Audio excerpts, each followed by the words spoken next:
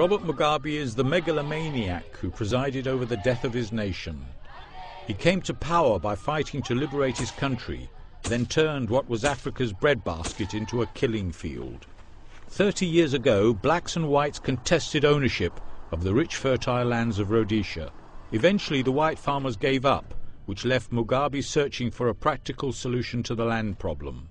The fate of Zimbabwe was sealed here in Lancaster House, where the freedom fighters met in 1979 to draft a constitution and bring white rule to an end. Lord Carrington, Britain's Foreign Secretary, orchestrated the talks on a constitution for Zimbabwe. He wanted the whites to remain owners of their farms. If they gave up their land, it must be voluntarily, and they had to be compensated. Robert Mugabe, an ardent Marxist who detested British colonial pomp and power, he wanted to nationalise the land, and he didn't want to pay compensation to white farmers. Joshua Nkomo, the larger-than-life freedom fighter, he wanted to leave white farmers on the land but charge them rent. Joshua Nkomo wanted uh, organised land, uh, land police, but uh, just because uh, he comes from a minority tribe, uh, his views were overrun by the cronies of Mugabe. That's what I think. But I think uh, Joshua Nkomo was the rightful person to, if he was the, given the chance to be the president of this country, I think uh, all these chaos may not, may not have been like, like the situation which is today. Nkomo's plan was torn up, first because Carrington insisted on enshrining private land ownership in the Constitution, and then by a terrible act of betrayal by Mugabe. Mugabe double-crossed Nkomo and destroyed him politically. His henchmen killed up to 20,000 of Nkomo's supporters in Matabeleland. With Nkomo out of the way, the contest was reduced to a battle of two ideologies, one championed by Mugabe, the other by Carrington. When whites grabbed most of Rhodesia's fertile land, the blacks were herded onto reservations.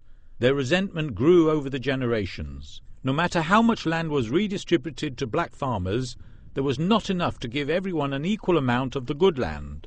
With no clear solution, the obstinate Mugabe clung to power, enjoying a life of luxury. The Queen of England honoured him, while Zimbabwe slid into anarchy. Frustrated because he could not solve the land problem, Mugabe then turned against his own people and crushed them into submission. Mugabe used violence to reward his own military chiefs and political cronies with land grabbed from white farmers. As he ran out of ideas, Mugabe turned against his own people, stole the election, and crushed them.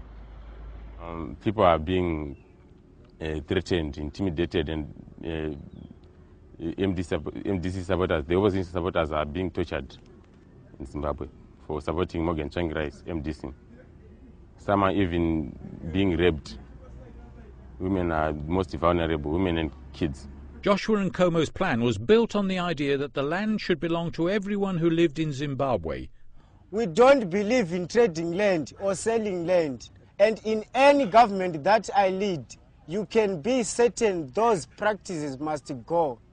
That does not mean we will be taking people's land.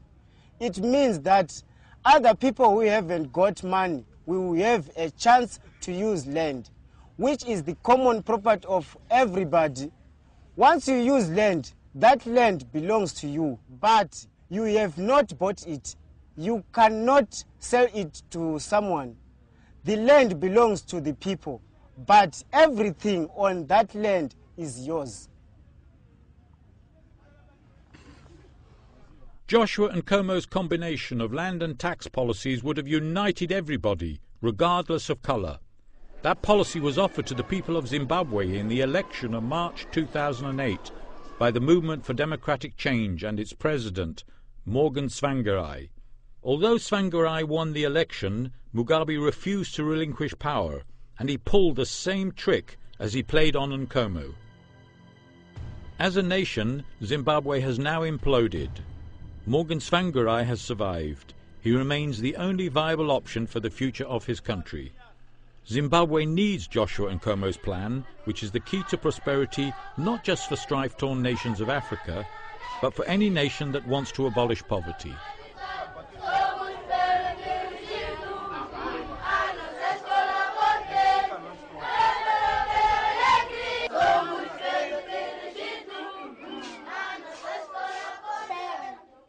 Vamos cantar uma outra que todos conhecem. Não é? Hã?